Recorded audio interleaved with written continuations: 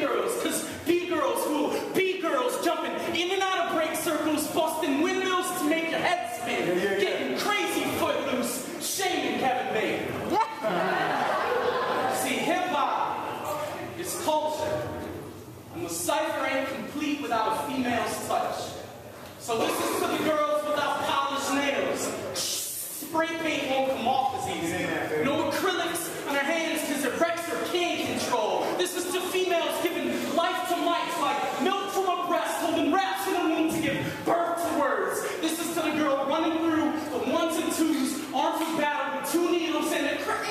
crossfade. This is to Leah.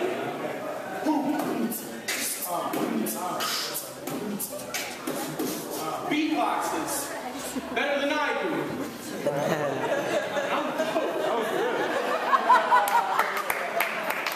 This is to Marisa who can't resist the fresh instrumental but claims she doesn't rap. This is to Nicole who can tell you why Beastie Boys are as important to hip hop as KRS. This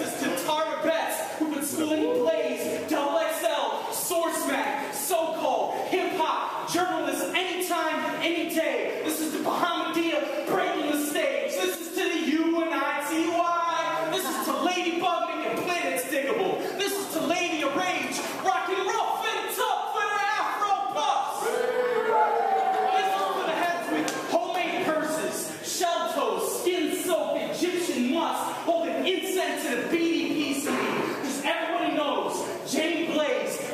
Jane Doe. None of these scratch bombing notebook kings nowadays can burn a wall like Lady Pink or Blondie. You can't cook without a little salt and pepper and Wyclef never had shit on Lauryn Hill.